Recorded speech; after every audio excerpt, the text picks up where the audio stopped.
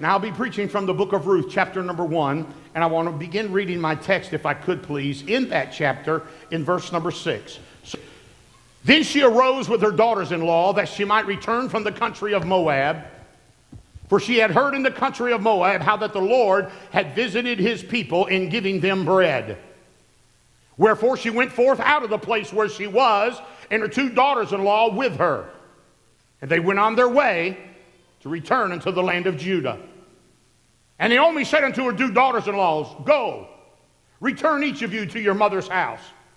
The Lord deal kindly with you as you have dealt with the dead and with me. And the Lord grant you that you may find rest, and each of you in the house of your husband, of her husband. Then she kissed them, and they lifted up their voice and they wept. And they said unto her, Surely we will return with thee unto thy people. Now skip down to verse number 14. And they lifted up their voices and wept again. And Orpha kissed her mother in law, but Ruth clave unto her. Thank you. That'll be all the scripture I read. Let me get right into my thought today. Elimelech and his wife Naomi were about 40 years old when they left Bethlehem, Judah, and took the 50 mile journey to a place called Moab. They had two sons that accompanied them to Moab, and both of them were figured to be under the age of 20 upon their arrival as a family in this distant land. Mahlon would have been the oldest by name because he's listed first, or it is a possibility that him and Chelon were twins. But Mahlon married a woman of Moab named Ruth. Chelon married what many theologians believe was her sister, and her name was Orpah.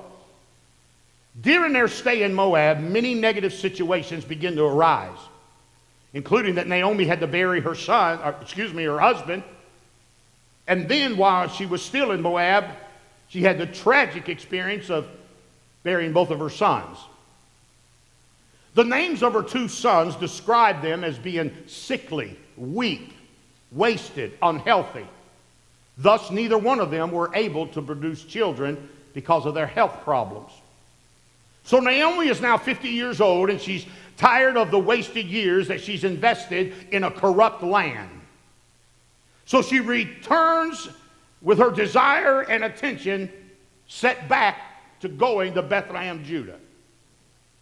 The Bible is very clear that her and her two widowed daughter in laws began the journey back to Naomi's homeland. Though it was only 50 miles from Moab back to Bethlehem, Judah, it's very rough and rugged terrain.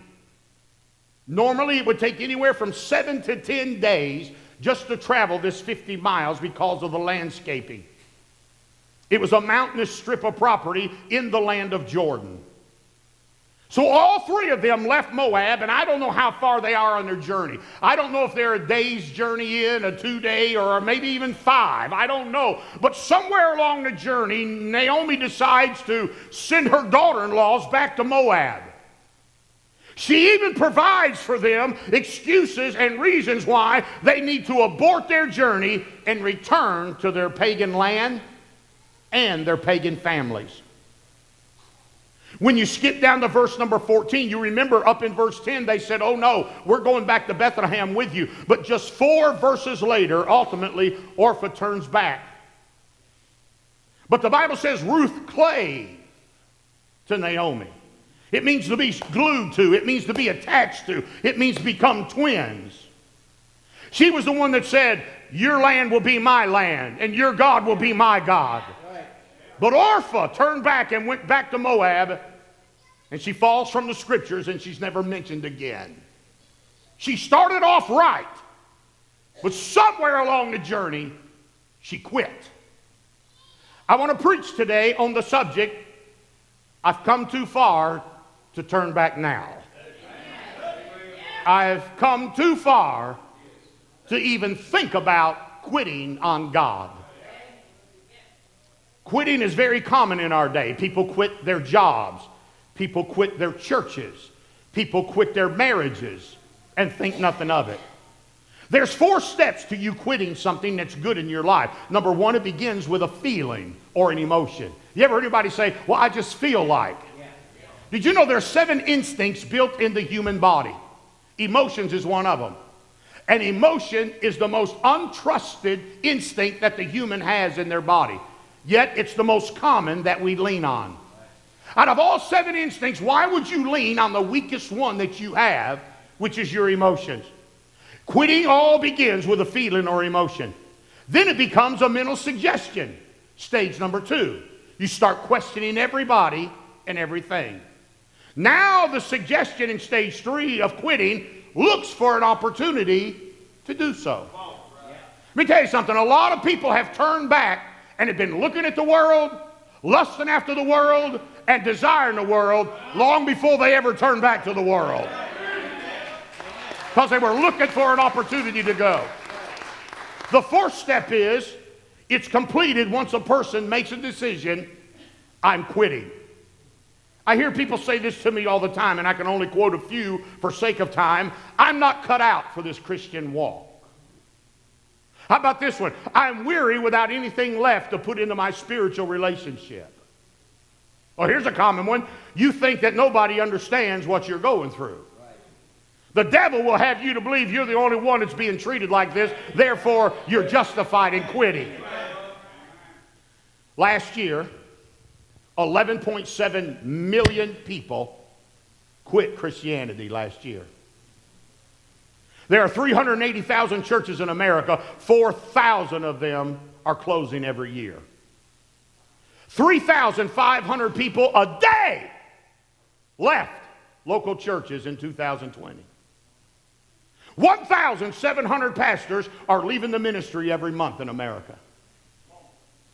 1,300 pastors were run off of their churches every month in 2020. 11% of all pastors are depressed. Another 13% are filled with anxiety over watching so many people in their congregation quit. Now, as a national survey, a pastor only stays four years or less in church, and when he leaves the church, most of them quit going to church themselves. So, why are so many people turning back to what they come out of? Why are so many people quitting on God? In the nine years that I've been here, if we had everybody here that's been through this church since I've been here, we would cover this whole 14 acres of land and they'd still be parking down the parking lot.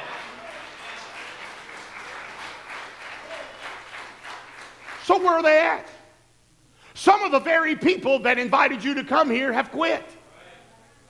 Some of the very people that were instrumental in getting you saved don't even go to church now themselves. Why are so many people going back? So today I'm preaching on the reason people go back. Next week, I, Lord willing, I'm going to preach on the results of turning back. And then, Lord willing, the week after that, I'm preaching on the reward of not turning back. But today, for a few minutes, I want to tell you why so many people quit. I hope it will help you to understand. Statistics says the average Christian life of a Christian being fired up for the Lord is a meager three years.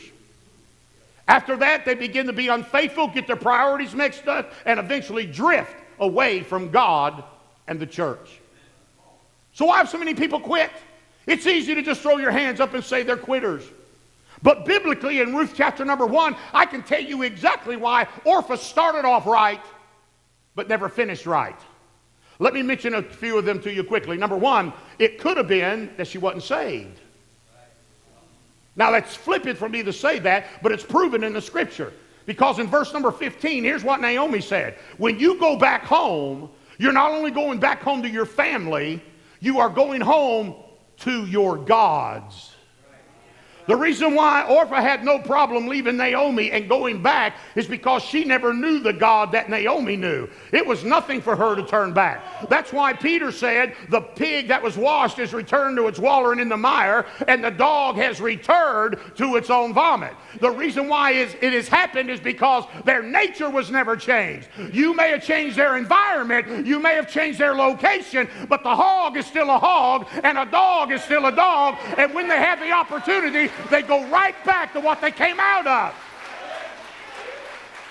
Now, they'll give you a thousand excuses why they quit, And they'll blame everything from the preacher down. But ultimately, many people quit and never walk with God consistently because they've never been saved. Now, during the judgment of the nations, during that period of time, God illustrated nations by two animals. Those that were against Israel, anti Israel, will be called goats on the day of the judgment of the nations. Those that were pro Israel, according to the Bible, will be called sheep. See, God identifies his children as sheep and those that are lost as goats. So I began to study. I didn't have much time left. I'd done so much reading this week. I studied three things about goats and sheep that are different that I never really thought of.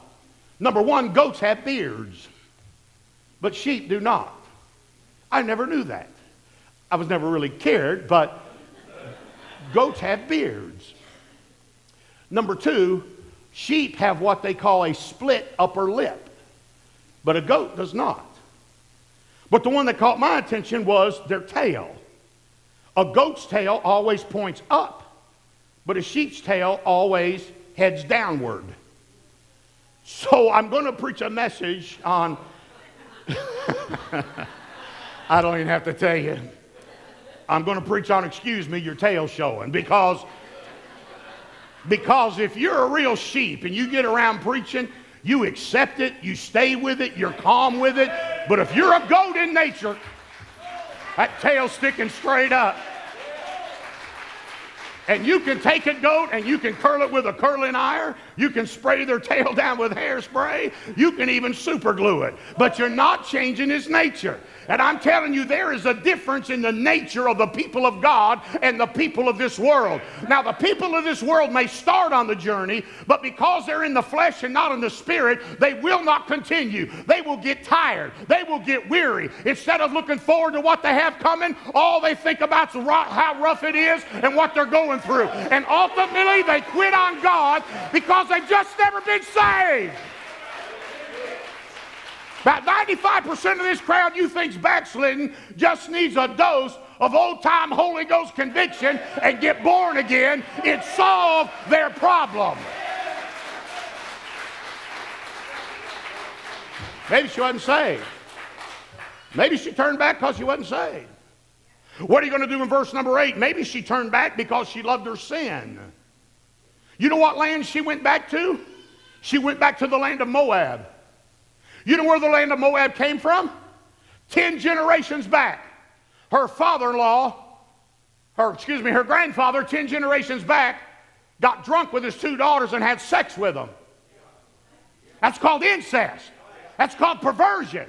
That's called sickening. And he had sex with his two daughters. One of them had a boy named him Amnon. Ammon. And the other one had a boy and named him Moab. You know why she went back to Moab?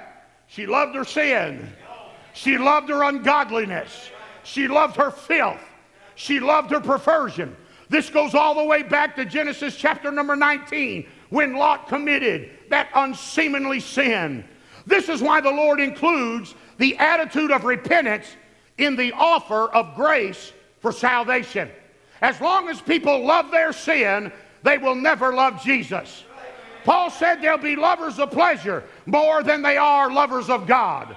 And when people are more worried about what sin they can live in than going to heaven when they die, you might as well leave them alone. They're not ready to get saved, and they'll never make it to Bethlehem, Judah. I can tell you that much. I was reading a book many years ago by uh, Mr. Ironside. And he said in his commentary, he was preaching one night, and a man came forward. And he said, Mr. Ironside, I'd like to get saved tonight, but I'm addicted to this one sin, and I don't not only think I can't stop it, I don't want to stop it. And he said, I want to ask you a question. Do I have to quit it now in order to be saved? He said, You do now. Because you have made that an issue with God. I'm going to tell you, when I got under Holy Ghost conviction, I wasn't worried about what I could do, what I couldn't do, where I could go, where I couldn't go, who I could hang with, who I couldn't hang with. When I got my life serious for God, I could care less what everybody else was doing. I wanted to go to heaven more than anything else in the world. And that's when you get born again. And that's why our teenagers are on their feet. And that's why they're clapping in the house of God. Because I didn't give them some easy believing it is nonsense. I say you got to get under conviction and you got to get born again or you'll never make it to heaven when you die. You'll never make it to heaven when you die. Maybe she quit because she loved her sin. Maybe she quit because she was just tired of the struggles. You remember she came from a different religion. Here comes Elimelech and Naomi, and they've got two boys that's been raised in Judaism. These boys are Jews. And they're dating women of Moab. And they were filled up with pagan gods in the land of Moab. Maybe there was a fight in the family because of religious disagreements. And that's why the Bible said that believers are not to be unequally yoked together with a non believer. Because religion becomes part of your home. How are you going to raise your kids? What, you got him going to one church and one her her going to the other and the kids swapping in between? Your kids will never live for God. That's spiritual suicide for any young kid to have to live in that kind of situation. Maybe she got tired of fighting over religion. Maybe Ruth was better looking and more likable and or forgot jealous and there was drama in the family. Anybody ever had drama in their family? Sure you did, you old hag. The reason why you ain't laughing, you're the drama of your family. She just got tired of the fussing and the fighting. Think about it. Her husband was dead by the time she was 30.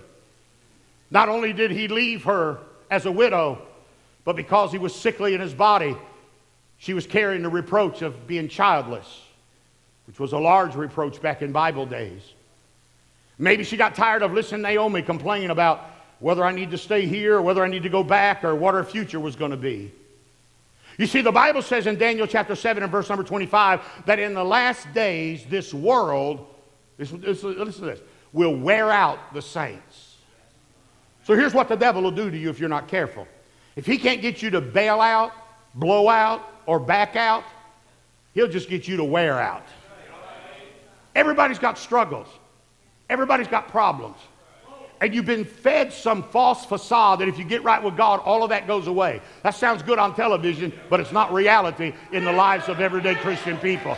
There's struggles, there's problems. You can love God and your car still blow up on you. You can love God and still lose your job. You can love God and your mother in law still want to move in your house. You can love God and a lot of things go wrong. A lot of things can go wrong, and if you're not careful, you will allow those struggles to get between you and God. And all of a sudden, you're so consumed in the negative that you fail to look at the positive, and it's dreary me, and you're on antidepressants, and you smother when you go to sleep, and you're eat up with anxiety, and you're filled with depression, and your whole life is doom and gloom, and you don't want to turn the lights on. You want to lay in bed, pull the cover over your head, let the whole world go by. You're facing physical problems, and the next thing you know, you just say, I'm so tired with all of it, I quit. But let me tell you something I know as a prophet. Quitting will never make your problems go away. They will only intensify your problems. Maybe she quit because of just the struggles. Maybe she didn't go all the way because she couldn't see her future. Now, look, let's go back 10 generations. If her and Ruth were sisters, 10 generations back was Lot, okay? So she's inherited through her DNA the attributes of Papa. So, what was Lot's great failure in the Bible? It wasn't when he went to Sodom. It's when he looked at the well watered plains and decided, I'm going that direction. Long before he ever entered the gate of Sodom, he looked at the immediate. Abraham said, Look, we're not going to fight, we be brethren. I want you to choose what parcel of land you want, and I'll choose the rest. Abraham was looking at his future and his spiritual walk with God. Lot was looking at the very immediate. So she was raised to make decisions on what you see now. So the only thing Orpha could see now was 50 miles of mountains, 50 miles of valleys, seven to 10 days of the Mideastern sun beaming down on them, crossing a wilderness and the Jordan River to get back to Bethlehem, Judah. And when she began to look at all of that, her immediate surroundings when she looked what was in front of her, she forgot to see what was going to happen to her. Could you imagine what would have happened had she stayed with Naomi? She would have been out in the field too. Somebody would have come after her too. She would have been married too. She could have been in the genealogy of Jesus too. She could have been in the heavenly lineage of David. He, she could have been a descendant of Jesse. She could have been in the story of Jesus. But because she was just looking at how rough it is now, she forgot that she was standing on the brink of a miracle. And just over the next mountain, God had something supernatural for her.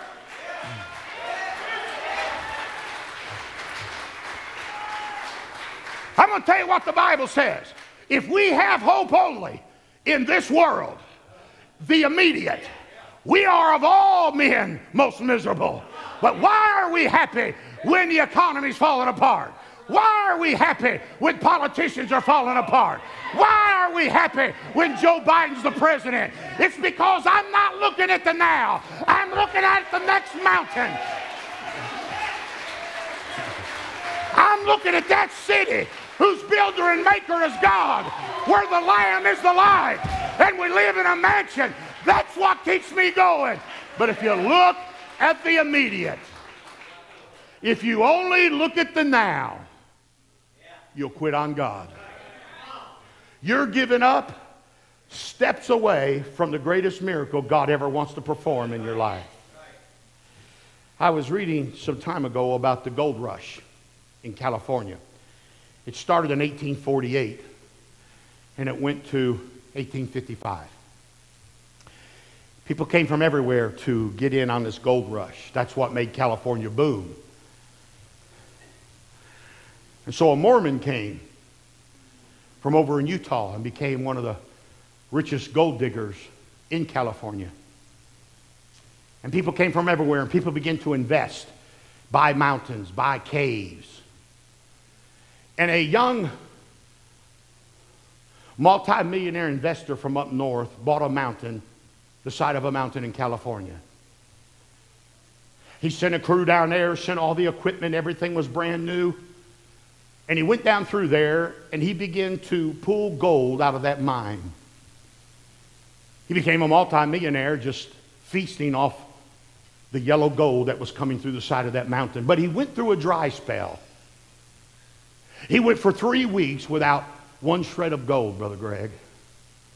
And he told his team, we, have dug in this mountain. If we, if we don't strike gold in another week, we've harvested it. It's over. We're going to shut it down. I'm done. So another week goes by and nothing but dirt and rock and clay. So we decided to sell the mine. Nobody was interested in it because everybody had heard that he got all the gold out of it, so it sat there. Finally, there was an old maintenance man that was living close to where the mine used to function. He offered the fellow literally pennies for the mine and all the equipment that was now rusty and stiff, and he sold it to him. The old maintenance man found some miners that had got hurt on the job, and therefore, those that got hurt, nobody would hire them. So this old maintenance man broke down, picked up some rusty equipment, hired some handicapped miners, and they opened up the mine again. He dug 21 inches into that mountain. 21 inches into that mountain and found the biggest vein of gold that's ever come out of California. When word got back to the young multimillionaire in the Northeast that his mind had struck that vein of gold, it so devastated him, he killed himself. And he said, I can't believe I stopped 21 inches from the glory. You going through a dry spell in your life? You feel like nothing's going on. Everything's dark, everything's damp, there's no glitter, there's no sparkle, there's no light. It doesn't seem like there's anything going on. Everything's kind of dormant in your life. You know what I'm talking about? You can't feel God. It's kind of hard to read your Bible. Your prayer closet seems like it's kind of dry and dead. You say, I just think I'm going to sell out. I don't think there's anything left in this. Don't you stop now. You may be 21 inches from the greatest thing that God ever had planned for you in your life. You keep going. You keep plowing. You keep digging. You keep working. God will show up. Woo!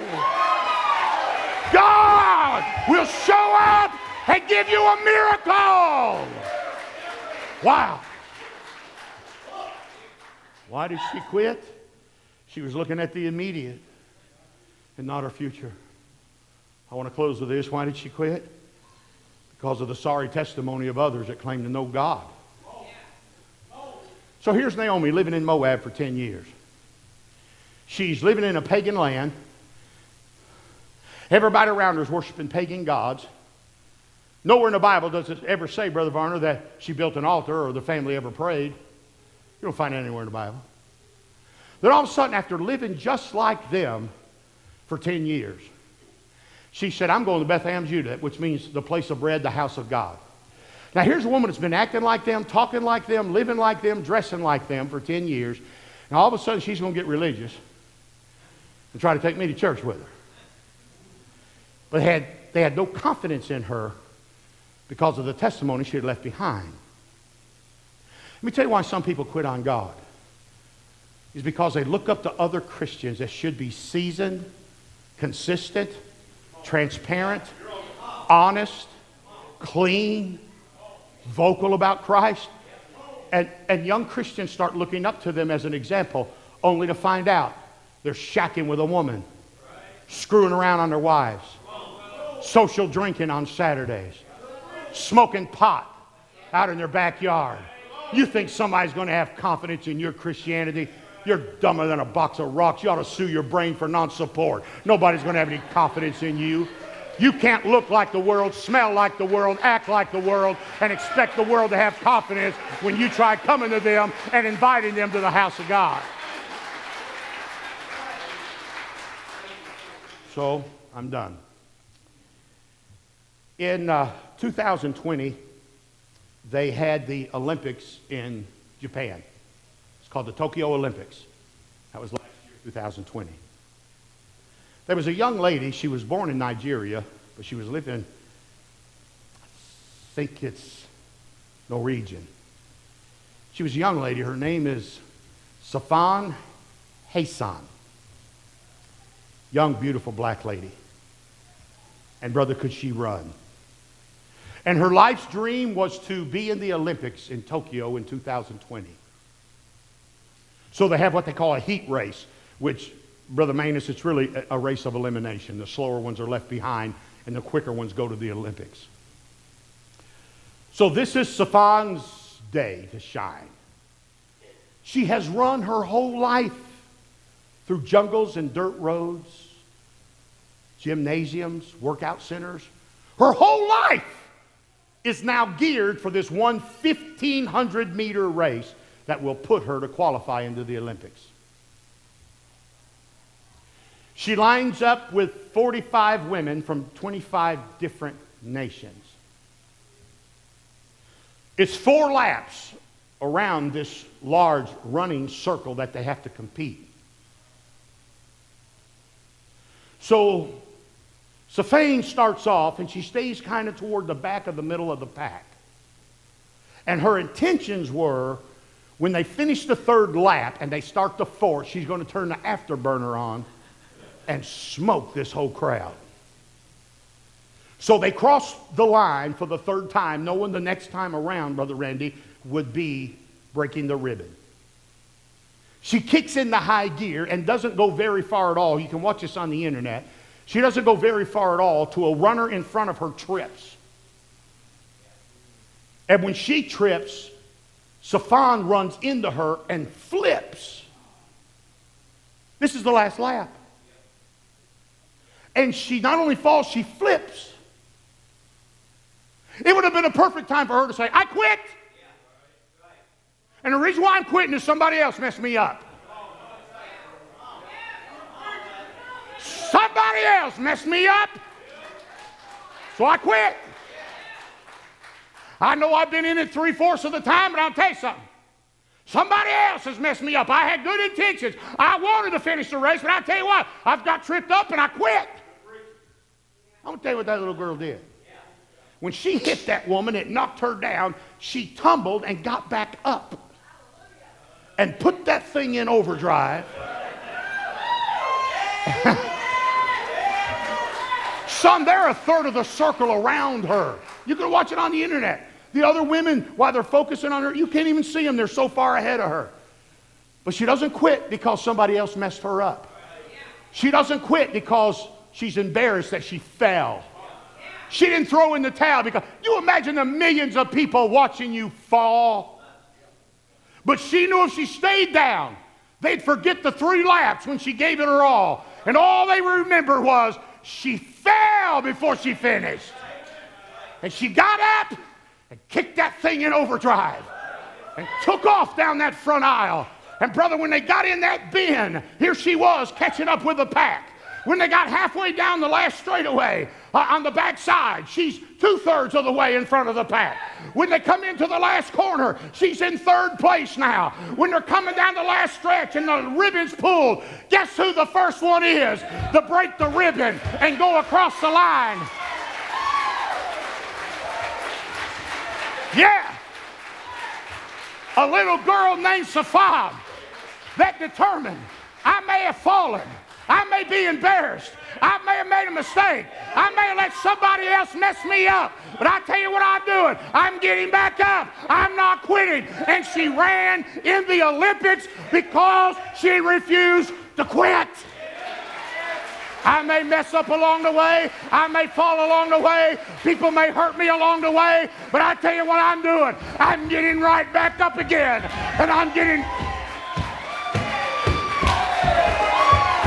I'm going to run till I finish. Let's give the Lord a head clap of praise. Behold.